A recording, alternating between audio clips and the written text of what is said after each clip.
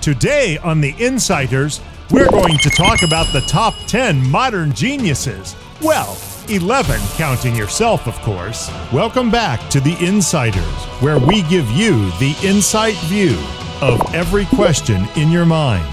And hey, if this is your first time here, please take a moment to hit the subscribe and bell icons now so that you can be notified of upcoming episodes from The Insighters. Have you ever considered the fact of what a genius thinks like?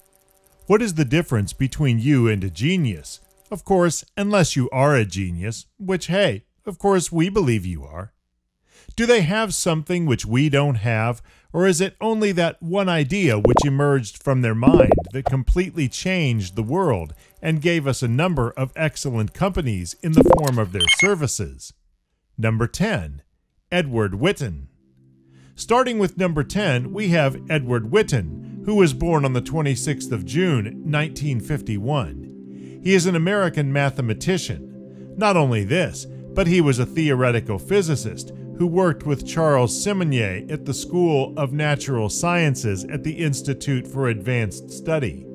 He was born in a Jewish family and graduated from Brandeis University and did a bachelor's degree in history and linguistics. He is basically a theoretical physicist, along with being a mathematical physics professor at the University of Princeton. He has made his valuable and significant contributions in the field of quantum physics as well as string theory. He even created the M theory as an initiative to unify all consistent superstring theories. He received various awards in the world of physics and mathematics for his valuable contributions. Edward is also considered as the smartest physicist in the world. Number 9. Ray Kurzweil. Next, at number 9, we have a man who has more than one talent within himself. He has been an author and even an inventor, as a result of which he focuses on more than one subject at a time. He has wide reach and vast knowledge in subjects like nanotechnology, artificial intelligence, as well as biotechnology. He has been concerned with the invention of various revolutionary modernized technologies that includes making an optical scanner for images with a system that can recognize any character in the world only through looking at the image. He has also invented various speech reading devices along with keyboard synthesizers. In 1999, he got the National Medal in the field of technology and innovation which was handed to him by Bill Clinton, who was the president at that time. He has also been considered as a technological genius by famous people all around the world. Number 8. Noam Chomsky. Moving on to number 8, we have Noam Chomsky, who was born in 1928. He dedicated his whole life to contribute to the fields of linguistics as well as cognitive science. He has been a genius, and since his childhood days, he has always been attracted towards science. Just when he was 20, he created the transformational theory in grammar when he was attending Harvard. Furthermore, at the age of 28, he published his work in the fields of linguistics. So the question arises what else did he do before his 30s? Well, he has been developing theories in linguistics throughout his career. Also, he has been regarded by very famous and well known persons as one of the few scholars who are very important in science's history. Noam Chomsky should be thanked for whatever we know about human sciences today, as his valuable contributions in this field are remarkable. Number 7. Tim Berners Lee. The reason for you watching this video right now is Tim Berners Lee. He should be thanked by all of us, as he was the man behind the invention of the World Wide Web, which was invented in November 1989. He has received several awards at various functions for his achievement and changing the way individuals connect throughout the world. In 2013, he was awarded for engineering and the Queen Elizabeth Prize later on. In 2016, he was awarded the Turing Award. He has been added in order of merit as the 14th member for his imaginative achievement and contribution to the world. He is presently the director at the Consortium of the World Wide Web and the Initiative for Research, which has been developed for web science. He has been teaching computer science at Oxford University as well as the MIT University of Engineering.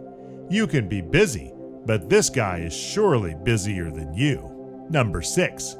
Mary Temple Grandin. Coming in at number 6 on our list, we have Mary Temple Grandin, who was born on August 29, 1947. She is an animal sciences professor at the University of Colorado and, despite having autism herself, has developed a revolutionary vision for our understanding of the psychology of animals. Because of her work, we have developed more humane methods for the handling of animals and livestock.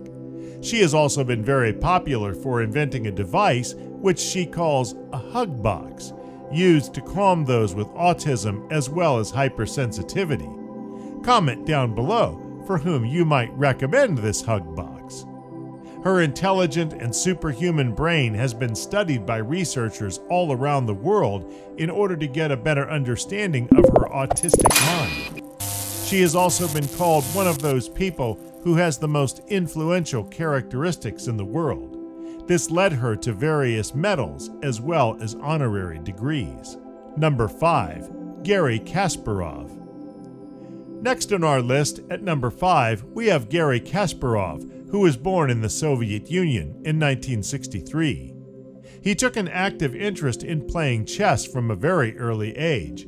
When he was 10, his interest in chess developed, and he started getting training from one of the most famous coaches for chess, Vladimir Meka.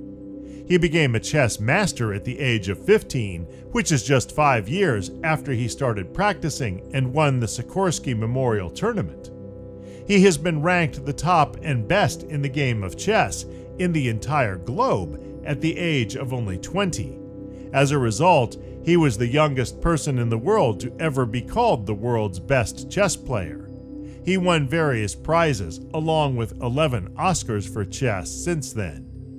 He has been declared as the topmost and best player in the world from the year 1986 to 2005. Can you believe that? 20 years of being called the best. It was a supercomputer named Deep Blue developed by IBM which finally managed to beat this guy in a famous artificial intelligence versus human match held in 1997. Now, this is something. What do you think? Can you beat him? Number 4. Neil deGrasse Tyson. At number 4, we have the man who hosted the most watched space TV show ever in the history of television, which is Cosmos, a space time odyssey. Thanks to this anchoring, Neil deGrasse Tyson can be regarded as the most well known astrophysicist in the world, although he is much more than just a science communicator. At the age of nine, Tyson's interest in astronomy and space increased like a fever when he visited the planetarium located at the Rose Center for Space and Earth, which was the Hayden Planetarium. He became the director of that specific planetarium, which developed and motivated him to pursue the field of space astronomy and inspired him to pursue this career. He has a golden number of awards in the field of astronomy, this includes the Distinguished Medal by NASA, along with the medal provided by Hubbard as a recognition. He has 19 honorary doctorates to his name.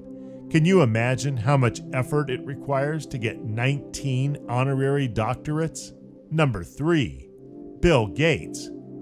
Coming in at number 3, we have Bill Gates. You don't necessarily need an introduction for him because we all know him as the founder of Microsoft and the reason why he is one of the most clever people in the world.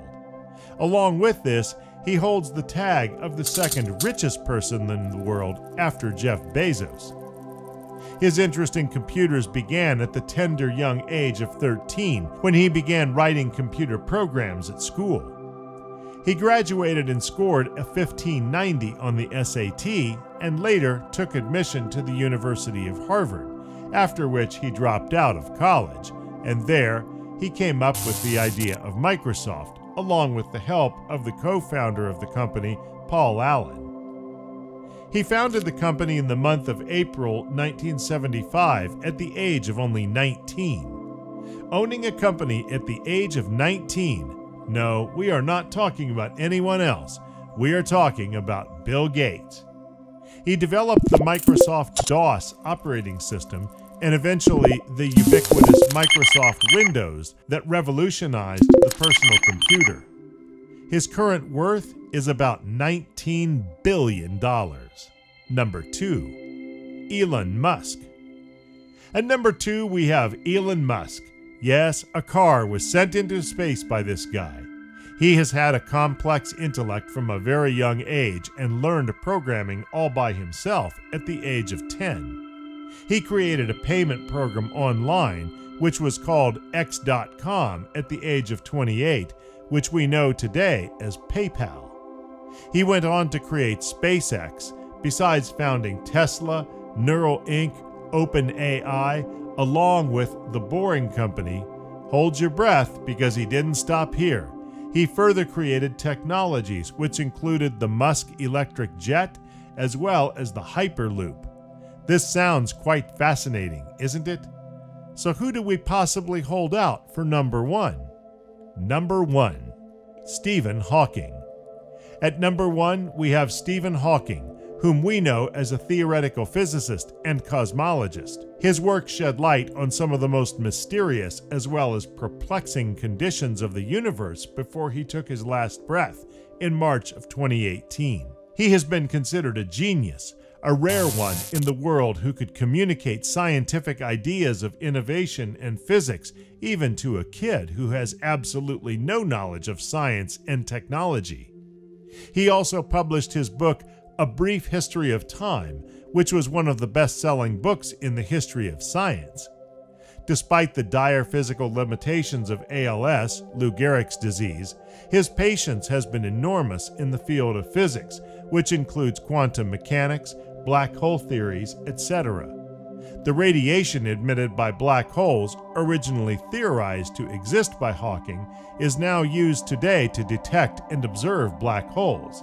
It has aptly been named Hawking radiation, giving props to the man who theorized its existence decades before it could be observed. Don't forget to like and share this video. You can also suggest topics for our future videos. We'll be back soon with yet another interesting topic for you. But until then, stay tuned and keep watching us, The Insighters.